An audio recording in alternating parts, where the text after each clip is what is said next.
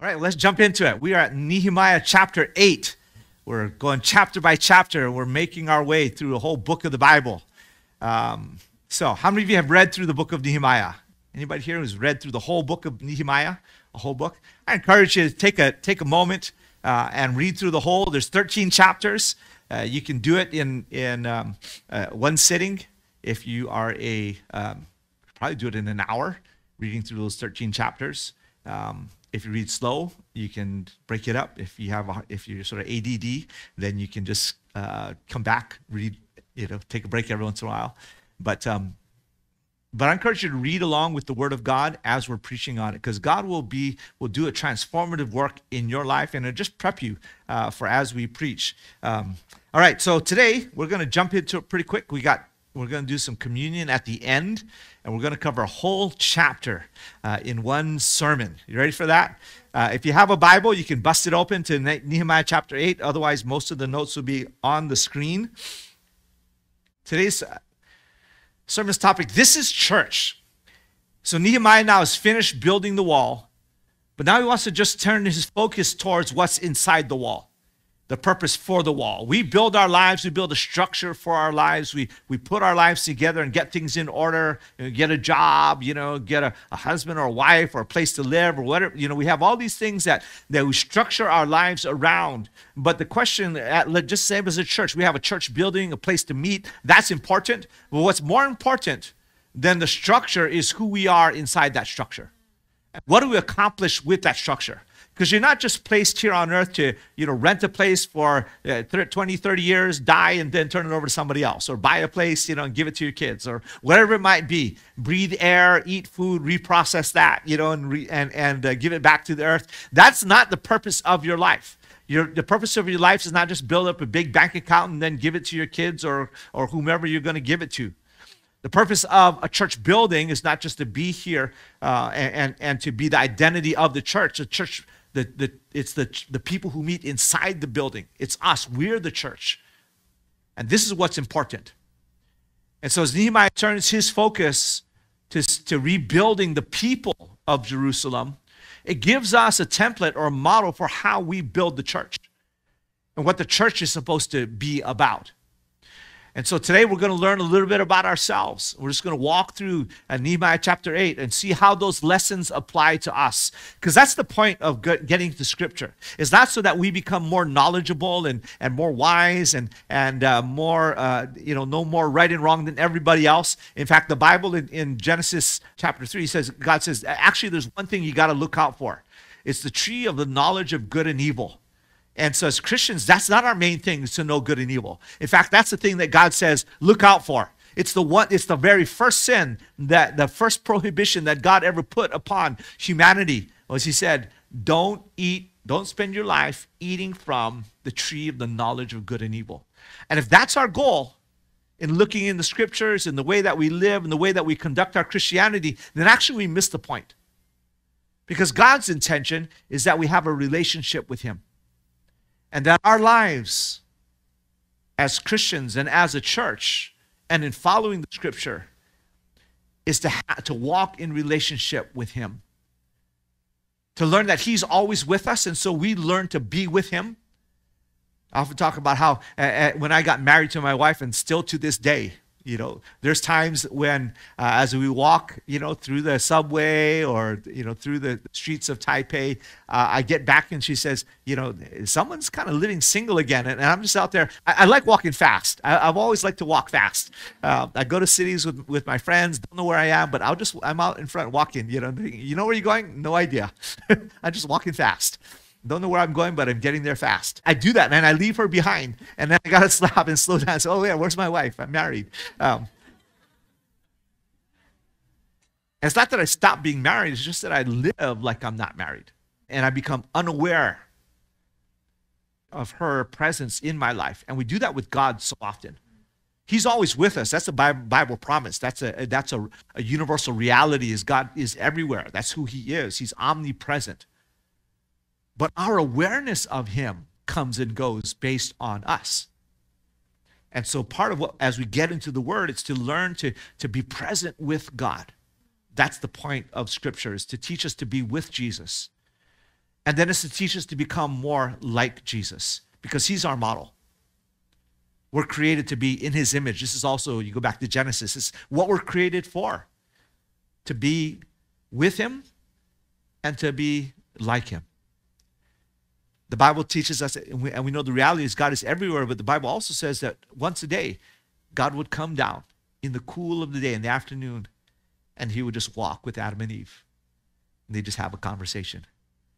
And that was meant to be the source of good and evil.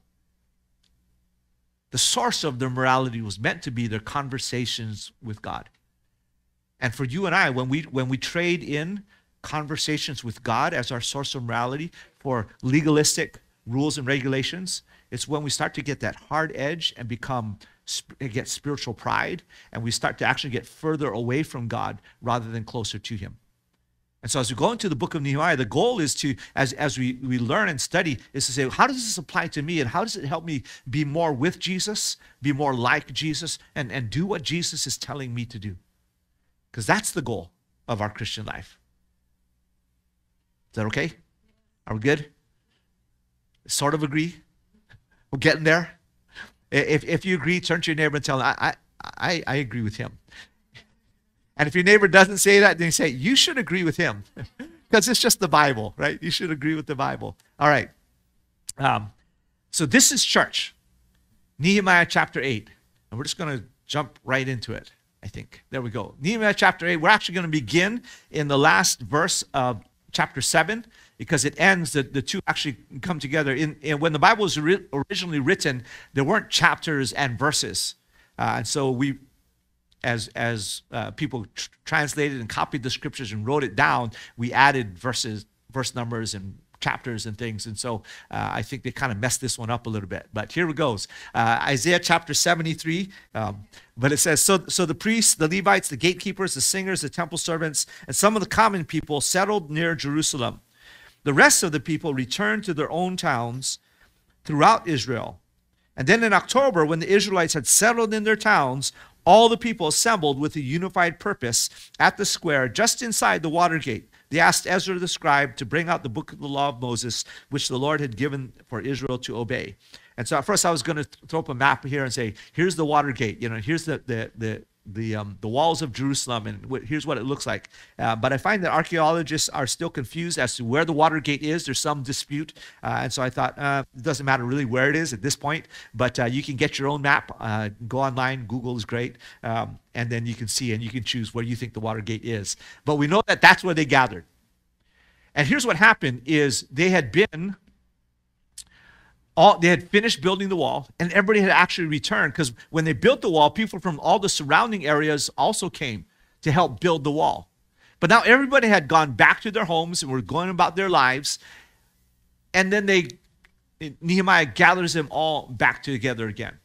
And so they come and they're all gathered there in front of the water gate okay when, when the Israelites had settled in their towns, all the people assembled with unified purpose at the square just inside the water gate.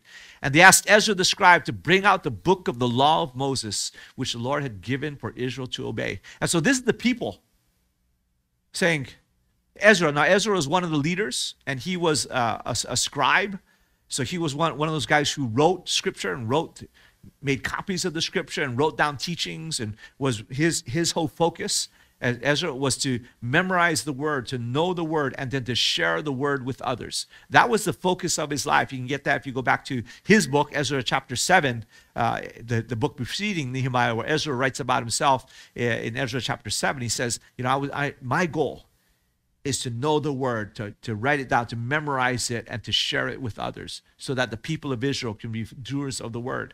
And so here now, the, the people of Israel, um, historians tell us it's probably about 50,000 people who'd gathered there at that time. Uh, and, and so this huge crowd of 50,000 people coming, and, and they say, Ezra, we want to hear the word of the Lord. And so that's what we're looking for. Instead of on Sunday mornings, me getting up and say, okay, I got something for you to listen to, we're looking for you to have the heart to say, we want, we want more. We have a hunger and a desire for the Word of God. These are people who love the Word of God and had a desire for the Word of God, but they didn't know the Word of God because for years they, they didn't have like Google, they didn't have, you know, um, iPads or or phones. Uh, they didn't have printed Bibles. The, the printing press had not yet been created. And so all they had were these scrolls that were painstakingly handwritten. And so all the scrolls were kept in the temple. Nobody had a scroll at home. They're just way too valuable and way too scarce. So they all had to come to the temple to read the word. And since the temple had been destroyed, they hadn't been reading the word for years 140 years since the temple had been destroyed, and now it's been rebuilt. But it's been a while since the people went to the temple and heard the word of God. And so they just knew we're missing the word of God. We, we hunger for the word of God. It's so different nowadays. I, I don't know what the, the number is in, in um, Taiwan, but I know in the U.S., um, people have multiple Bibles, and there's so many Bibles available. In my home, we got lots of Bibles. Um, but the problem is we don't hunger for the word of God. We come to church, and these guys are they're hungry for the word of God. And they're not waiting for Sunday for the for the church to announce, hey, there's church, and someone to remind, remind them Sunday morning, and their husband or wife to say, come on, get out of bed, you got to go to church. You know, their connect group leader call them up, whatever it is. Um, they're like, Ezra, we, we want to hear the word. Okay? So Ezra the priest brought the law before, uh, brought the law before the assembly, both men and women, and all who could understand what they heard on the first day of the seventh month. And so it's on a certain day they come together. And I love how it says men and women and all who could understand. So anyone who is old enough, because normally in that society was very segregated. Men, women, and a gathering like this would generally be just the men, and the women wouldn't be there. But here God transcends cultural norms and he says, men, women, children, if they can, anyone who can understand, all gathered. And he came. And, and it's interesting because you go to read the next verse. In verse 3, it says, And he read it facing the square before the water grate from early morning until midday in the presence of the men and the women and those who could understand. And the ears of all the people were attentive to the book of the law. I love how the writer here, he repeats the very same words the men, the women, and all who could understand. And in and in, in biblical writing, when they repeat something, it's like it's like bold or emphasis or like all caps. They're saying, pay attention to this. I'm going to say it twice so that you you understand this is what's important. And it's interesting that he would choose that as being the important thing out of all the other things he's writing about. Ezra, the reading of the word, uh, reading for all day, half the day long. Uh, he chooses the thing he chooses to emphasize is that it's everybody men, women, children, all coming together. Because that was a very unusual gathering in those days. But that's the gospel.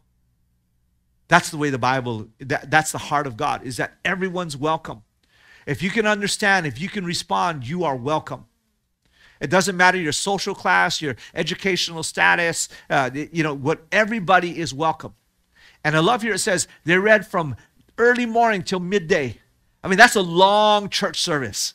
And that's just reading. That's like no preaching. That's just reading the Word of God from morning till midday. That's like five or six hours of reading. And when it talks about the law, they're talking about the first five books of the Bible Genesis, Exodus, Leviticus, Numbers, and Deuteronomy. And I don't, anybody read through those books before? We all bog down there at the beginning of every year. If you're a good Christian, you're like, okay, this year I'm going to read the whole Bible. You start with Genesis, some cool stories. Okay, I got that. Exodus, more cool stories going through the wilderness. You know, then you get to Leviticus and all these laws and rules, and and uh, most of us kind of start bogging down there. Then you get the Numbers, and it's just like lists of peoples and names that you've never heard of before and can't pronounce, and everybody's dead by then. They're done. Okay, because Deuteronomy comes around, it's just a retelling of Leviticus. I'm gonna, in case you missed it, fell asleep last time, I'm gonna tell you the rules again. We all love rules, right? I'm Just gonna read the rules they're just, and so just people just never get past that. But they're there from early morning. I don't know what early morning is for you, but till midday. So 5 a.m., 6 a.m. for them, because they live in an agrarian society, you get up when the sun starts to rise, you want to get out to the fields. You want to take full advantage of the sunlight being up. And so for them, that's 5, 6 a.m. till midday. So we're talking like six hours of just listening to it. And they were all attentive to the book of the law.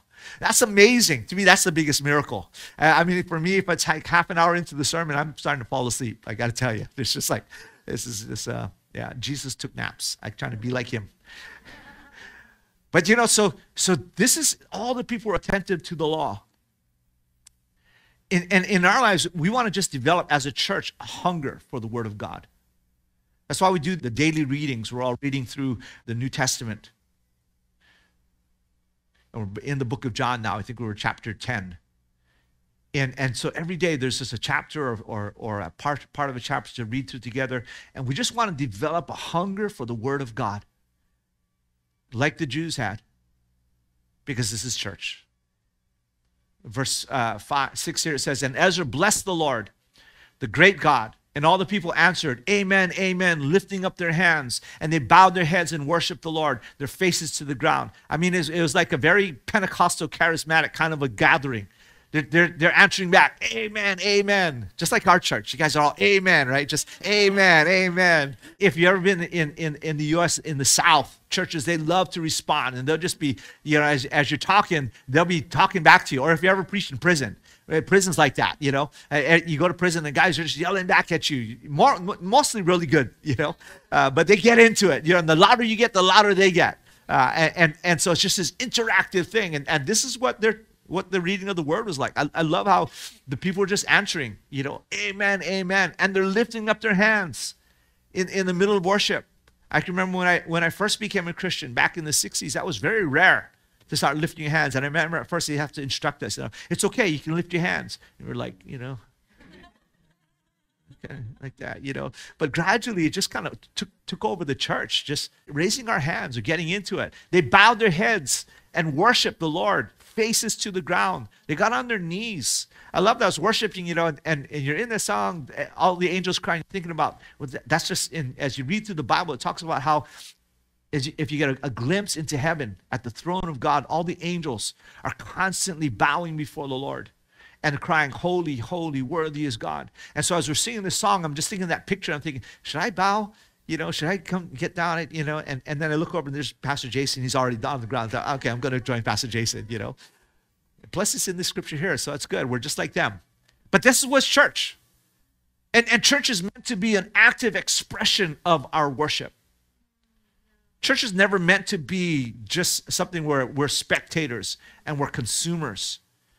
Church is meant to be where we enter in and we are a part, we're participators in it. So, this is church. Number one, active worship. When we come together in church. Now, worship is actually a lifestyle, and all that we do can be worship. If you do everything you do as unto God, it becomes worship. If you honor God in it, it becomes worship. If you do it in a way that honors God, then it becomes worship. If you're at your job and you're falling asleep and you're kind of doing just barely enough to, to get by and not have your boss scold you, that, that's not worship. But if we do it in a way that honors God, we do it as unto the Lord.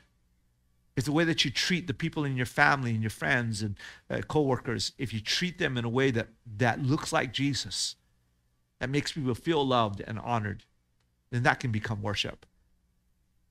But formally, this is what we call, when we come together and gather, this is what we call formally worship. And it's meant to be interactive, participatory. So I want to encourage you as you come in, just jump in. If you see someone raising their hands, just try it yourself you feel a little prompt, you need, want to kneel, you want to just open your hands like this, you want to you know, sing, just enter in and, and engage with God in these moments and join the rest of the church. Um, the Levites, Jeshua, Bani, Sherebiah, Jamin, Akab, all, all these names we can't pronounce. Shabbethai, uh, Hodiah, Maaseiah, Kelita, Azariah, Jozabad, Hanan, and Pelaiah then instructed the people in the law while everyone remained in their places. So what happens is there's a bunch of Levites, who, the guys who help, leaders in the temple. And after Ezra would read the word, then they came around the people. The people staying there, they came to the people. And they started interacting. They said, let, let me explain, break this down to you so that you can understand. Okay? So they, they break down the, the Word of God. They, they read from the book of the law of God and clearly explained the meaning of what was being read, helping the people understand each passage. And for us, we don't do that on a Sunday. We don't take time to say, okay, let's down, the leaders come. Maybe we will at some point just say, let's just do it now. Uh, I know some churches do that. But we do have, we have connect groups throughout the week. And that's where we break it down to say, how is the Word of God applying to your life this week? Oftentimes, we'll just use what was preached on Sunday. But really, you can take any part of the word or any issue in your life and just say, how does God's word apply to what you're walking through? This week in one of our small groups, we never even got to the, the, the, the lesson part because we started talking about life and, and then just praying and, and, and encouraging each other. What would the word of God say about that situation that we're in? And that's what a connect group is, is applying and getting understanding so that we can live out the word of God. Because we want to be doers of the word, not just hearers only. Because if you just hear a lot of information, the Bible says knowledge puffs up or makes you proud. And then we get the spiritual pride. And, and that's the thing that Jesus hates the most is spiritual pride. Those are the guys he was always after. And those are the guys who crucified him. The guys who thought and, and probably knew more of the scripture than anybody else. So they had, they had the most knowledge of good and evil. And it's a clear picture of why God said in the Garden of Eden, it's not about the knowledge of good and evil. It's about life. And the words that I speak to you, their life. It's about relationship because it's, it's relationship that brings life. So we talk about Christianity being a relationship, not a religion. Religion is knowing good and evil. Relationship is knowing who Jesus is, being aware of his presence in our lives, and doing what he asks us to do. So it's communal learning. It's not just lecture on a Sunday, but it's through the week saying, okay, how do I, how is the word of God applying in my life? What am I walking through? What am I facing? And, and how does God's word apply to that? All right, communal learning. That's church. Get in a connect group if you're not in one yet. Uh, Nehemiah chapter 8, verse 9. Then Nehemiah, the governor, Ezra, the priest, and the scribes, uh, and scribe, and, and the Levites who were interpreting for the people, said to them, Don't mourn or weep on such a day as this, for this is a sacred day before Lord before the Lord your God. For the people all had been weeping as they listened to the words of the law. And so this, there's this weeping going on. What, what's, what's happening in, in them is that as they're hearing the laws, the scriptures, and, and the, the life that God intended for them, the pathways to blessing that God laid out, they began to weep and repent. It's the spirit of repentance coming on. It's, a, it's this godly sorrow saying, God, what you intended and where we live is there's such a huge gap. And the ways that we live, no wonder we, the, the walls have been torn down and, and our city has been destroyed for so long. It's because the ways that we lived are so offensive to you and so opposite to, to what brings blessing in our lives. We've kind of just lived a life that invites cursing and invites destruction. Because when God says, you know, don't don't lie, and we live lies, it brings destruction to relationships. When God says don't murder and we kill someone, it brings destruction to relationships. When God says don't commit adultery, sleep with your neighbor's wife, you sleep with your neighbor's wife, it brings destruction to relationships. When God says you don't have any other gods before me and you start to worship all the other all these other gods, it's destructive to relationships and wrecks our lives.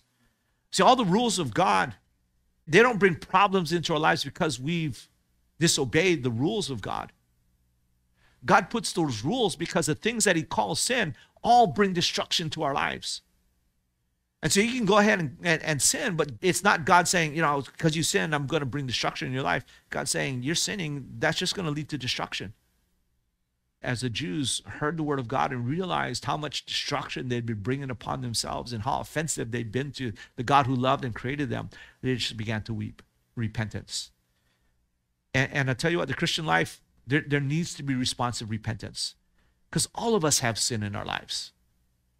All of us have junk in our lives. There's nobody who lives who, uh, here who doesn't have areas of our life where there's shame, there's fear, there's brokenness. All of us have that junk in our lives. But that's the beauty of repentance is that we can turn from those things. And the Bible says when we repent, God then will forgive us. And he'll cleanse us. He'll set you free from the from the, the addictions and the things that bind you. He'll heal you from the brokenness that comes from, from living in sin. Number four, and Nehemiah continued, go and celebrate with a feast of rich foods uh, and people with people who have nothing prepared. This is a sacred day before our God. Don't be afraid. Don't be dejected and sad, for the joy of the Lord is your strength. And I love what it says here. Go ahead and celebrate a, a, a feast of rich foods and sweet drinks. Uh, my wife and I are getting up there in years, and uh, fat foods and a lot of sugar is what everybody says you got to stop doing. Every time we go to the doctor, like, uh, too much fat in your food, uh, too much salt, too much sugar. Um, but praise God that he doesn't say that. he says, go your way. And I love the way that other translation, the ASV says, you know, eat the fat, drink the sweet, you know, eat like a Filipino or a Taiwanese, uh, you know, or a fast food American or something. Just, you know, whatever is fatty, go, go, go for it, you know, because that's the best part, right? That's always the best flavors where the fat is. Uh, and he's saying, yeah, celebrate, eat the fat, drink the sweet praise God, we're going to all throughout eternity be eating the fat, drinking the sweet without the calories and without the cholesterol. Amen. So good. Praise God. So it's a time of celebration. See, church is meant to be a place of celebration. And, and, and we, we get so serious sometimes. We get so down on ourselves sometimes. Sometimes we just need a little celebration, a little joy. And, and you know what turns what helps with joy is actually its relationship. That's a source of joy. In fact, just a little experiment. Turn to your neighbor and just say, He's talking about you. Just look at him and just turn to turn to someone, tell him, someone you don't know. It's Someone behind you, he's talking about you. And just look at the smiles that come on our faces, right? As soon as you turn to someone, smile comes on your face. It might be a smile of shame. It just might be a smile of, of either I smile, I laugh or I cry. You know, so painful for introverts to talk to the person next to them. But I'm glad you chose smiling. But but see, we're created for relationship. And in church, when we come in as individuals and stay as individuals, and we have this thought that no, it's just between me and God, I don't need to interact, we, we miss the whole joy of the Christian life. It's meant to be lived in community with others. So I want to encourage you, you know, before and after church, look for people you don't know and go and say hi. Don't just stay in your little bubble of the people you know who you're going to see all week long anyway, and then you come to church to see them here. Get to know some other folks in the church. Right, so that's your assignment today after church. Once church finishes, go look for someone you don't know and say hi. All right, so um, because it's meant to be joy. Isaiah chapter uh, 54. This is the, these are the, the scriptures from our um, our capital campaign. Is kind of what God laid on our heart as we began this year. Isaiah 54 verses one through and th- one, two, and three. Um, all right, so single childless woman, you who have never given birth, break into loud and joyful song, O Jerusalem, you have never been in labor. And what is he saying? Before you have a baby, while you're still barren, that's when you want to shout and sing and be full of joy. See, there's something about choosing joy before the circumstance. It says, break into loud and joyful song. Loud and joyful song. It means we need to be so excited that it shows on our face and in our voices. I know a lot of times we think church is meant to be, you know, quiet and but if you want joy, joy comes by choice and it comes with strength and it brings strength. He said, "The joy of the Lord is my strength." Some of us we have no power in life because we have no joy. And we wonder why the Christian life seems to not work is because we have no strength and to carry out the Christian life in opposition and to really break through into the joy that God has for us. Because it's the joy that brings the breakthrough. See, if you're just waiting and your joy, it, it, we have this false concept of joy. We think that joy is meant to be a product of our circumstances. But actually, God intends it to be the opposite that our joy will produce the circumstances that we want. But joy comes first. We have to learn to choose joy when we're still barren. For the desolate woman now has more children than the woman who lives with her husband, says the Lord. Enlarge your house, build an addition, spread out your home, spare no expense, for you will soon be bursting at the seams. Your descendants will occupy other nations and resettle the ruined cities. If we wait for the cities to be rebuilt, then we're just going to wait forever. We have to go there and build the, the cities and resettle them. Enlarge the place before you're bursting at the seams. That's why, even as, as we move, we're saying we, we need to get a place big enough to hold more than what we have now. Enlarge the place of your tent. We talk about how that's the place of your heart. Are you able to love more than the people you, you love now? Start to look for people you don't yet love and start loving them, letting them into your life. Joyful celebration. Christian life, this should be the happiest place on earth, even happier than Disneyland. And that's a tough act to follow, but we can do it. At chapter 8, so the people went away to eat and drink at a festive meal, to share gifts of food, and to celebrate with great joy because they had heard God's words and understood them. Share gifts of food. What it also leads to is generous sharing. Not just to consume our, for ourselves, but to share with others. And this is the Christian life. This is what church is meant to be active worship, communal learning, responsive repentance, joyful celebration, and generous sharing. And for, for, for us, that's why we do the capital campaign, is to break us out of this just bless me mentality and say, let's just become, start to become a generous church. Let's become a unified church. The Bible says, wherever your treasure is, that's where your heart will be. And we're just saying that in this, this capital campaign, as we all give towards that, our hearts come together and God unifies us even as He transforms us. So Nehemiah 8:13 on October 9th, the next day, the family leaders of all the people, together with the priests and Levites, met with Ezra, the scribe, to go over the law in great detail. As leaders, and God's called all of us to be leaders, we need to have a deeper knowledge of the word. Because right now, you know more about Jesus than probably most of your neighbors, certainly than most people living here in Taiwan. And so, if someone's going to lead them to Jesus, it's going to start with us who know Jesus. And so, as a leader, you just need to know the word in greater detail. Get into the word. The word should create a greater hunger for the word. As they studied the law, they discovered that the Lord had commanded through Moses that the Israelites should have to, live in shelters during the festival uh, to be held that month. And so, what's happening is they learned that God wanted them three times a year to come together. And one of the, the, the times, that, that very time, when they were reading the scriptures was a t- time of what they call the Feast of Tabernacles, which was a time when they would all go and live in tents, re- remembering the time when they came out of Egypt and through the wilderness, they lived in tents. And he said, We want to remember the good things that God has done in our lives. And so once a year, all the people would come and they'd live in tents. Now they've kind of modified that. Uh, so Jews, they just they, they make a little uh, like a little stand out of wood and uh, and then they go have a meal in it or a prayer in it and, and so in, in this in October in New York City where we live and have a lot of Jews, you'll see people all putting these up like in their living rooms or even guys now on bicycles have them on the back of their their uh, their bicycle. And so you can just s- stick your head in there and give a quick prayer. And then they say that's good. That suffices. You celebrated you know because everybody's supposed to do that. So we used to have a, a messianic or a Jewish kind of a church there. And uh, when they'd meet for tabernacle, it would set up a, a, a little booth right inside uh, the church, and we'd all get in there and say a little prayer, you know, kind of a thing.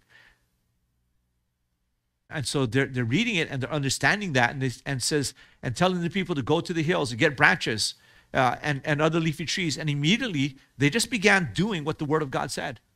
And what I love about this feast in particular is this: of all the feasts of Israel, this is supposed to be the most joyful feast. But also, this feast was meant to be, it was the one feast where not only the children of Israel would come together, but anyone could come. People from other nations could come and gather. So, this feast was set aside from all the other feasts in that it was meant to be just a joyous celebration. And it was meant to be open to all people. Anyone who's in the area could come. And so I love that. In our church, everybody come. This is going to be our favorite feast. Eating together, celebrating together, people from every nation. So the people went out and loved. They just immediately were, were obedient. Chapter 8, verse 17. So everyone who had, had returned from captivity lived in these shelters during the festival, and they're all filled with great joy. The Israelites had not celebrated like this since the days of Joshua, son of Nun. That was a huge celebration. And this is what happens when we as a church, when we start to, to obey the word of God and start to do what God says, it brings joy into our lives. When we as a church begin to, to live according to and apply the word of God to our lives, it's going to bring us into great joy and celebration. And so we're going to do what, what God calls us to do. What, one of the things that God calls us to do is, is to do communion, to come together to eat of, of the, the, the cup and the bread. And so we're going to close the service out just by doing as a church together. We're going to do what Jesus told us to do. 1 Corinthians chapter 11, verse 23 through 26 says, For I received from the Lord what I also delivered to you, that the Lord Jesus, on the night when he was betrayed, he took bread, and when he had given thanks, he broke it and said, This is my body, which is for you. Do this in remembrance of me. And in the same way, also, he took the cup after supper, saying, This cup is the new covenant in my blood. Do this as often as you drink it in remembrance of me. For as often as you eat this bread and drink the cup, you proclaim the Lord's death till he comes. And when it talks about proclaiming the Lord's death till he comes, it's not just talking about, yay, Jesus is dead. It's not like, you know, the wicked witch is dead, but it's it's it's proclaiming what Jesus did through his death, burial, and resurrection. In other words, it's saying, share the good news about Jesus. Every time that you take this communion, it's meant to be a sharing of the good news about Jesus that He's our Messiah, a living Messiah. He died, He was buried, and He rose from the dead. And the blood of the covenant that, that, that through His death, He made a new covenant with us, that He'll give us new life. That we'll be freed from the power of sin in our lives. John chapter 7, verse 37 38 says, On the last day, the climax of the festival, this is actually the same festival that the Jews were celebrating in the book of Nehemiah. So Jesus,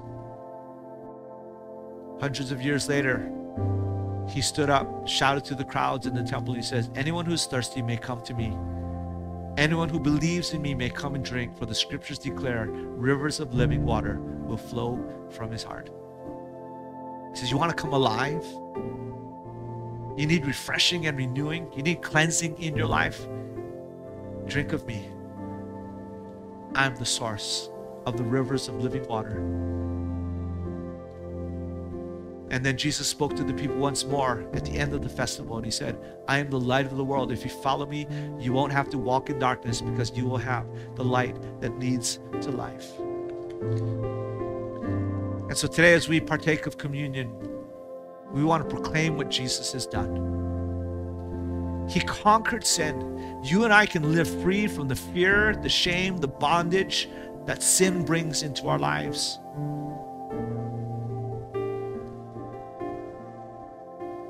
No more guilt. No more addictions. If you're like me and you just grew up with a lot of bad attitudes, God can set you free.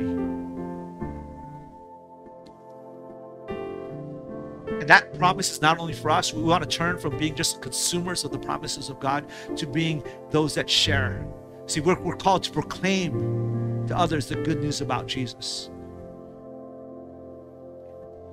And my prayer today as we partake of communion is that we more than just us partaking of communion, but that as we think about and meditate on what Jesus has done for us, that it would begin to seep into our souls become such a part of our hearts and our, our lives and our mentality that it would just start to naturally come out of us in our everyday lives.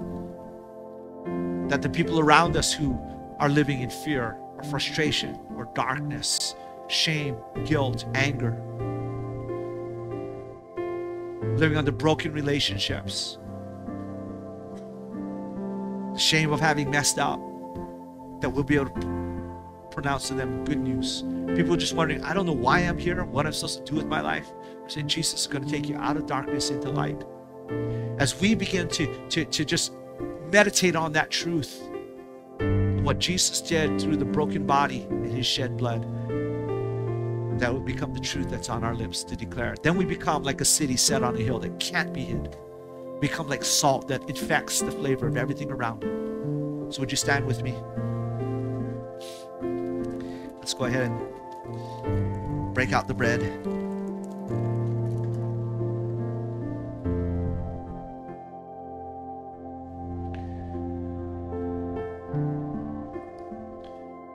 Father, today we thank you for your body broken on the cross for us. And just as Jesus did, we, we give thanks. And we recognize that, that this is your body it represents your life, your body given for us, broken on the cross, so that the broken uh, wounds in your body, the stripes in your back were for our healing. And that as they, they thrust that spear into your side, the blood and the water that flowed were for our healing. And tonight, Lord God, today as, as we come before you and, and as we eat of your broken body, I pray that you minister healing, Lord God. That if there's a, a, a, physical need for healing, relational needs for healing, emotional or spiritual need for healing in our lives, that through that broken body, your broken body on the cross, Lord God, may healing flow to us. And God, may we become then ministers of healing to others. And so today, Lord God, we meditate on your broken body.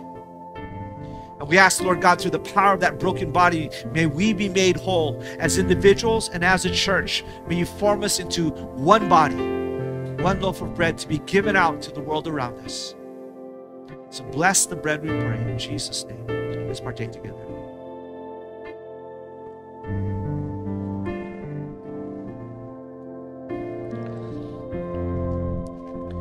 The scripture says that he took the cup in the same way and he blessed it and said, This, this cup is a new covenant in my blood. And that covenant is that God will give you a new heart.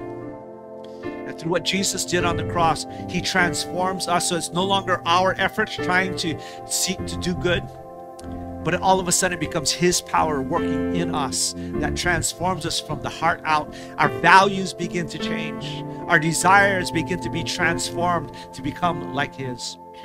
So it's no longer us in our flesh, but out of a transformed heart, we begin to follow him because we want to. And so, Jesus, we thank you for your blood. And we say, Lord, apply that blood. May it cleanse every area of sin in our lives.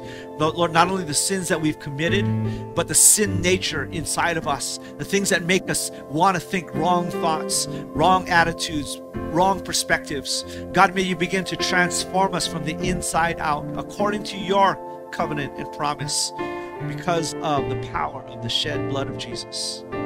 And so we thank you for your promise to us, and we thank you that you are a, a covenant keeping God, a God who keeps his promises. Give us a new heart. We pray these things in Jesus' name. Let's partake together.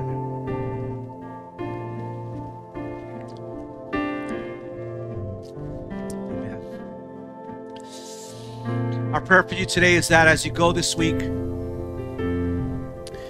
you would not only be someone who recognizes the blessings of God coming into your life, but that we would be those who are a blessing to others. That we be like that city set on a hill that can't be hid, like that salt that flavors the lives around us. So the Lord bless you. I want to say thank you for joining with us today, and we'll look forward to seeing you next Sunday. Bless you.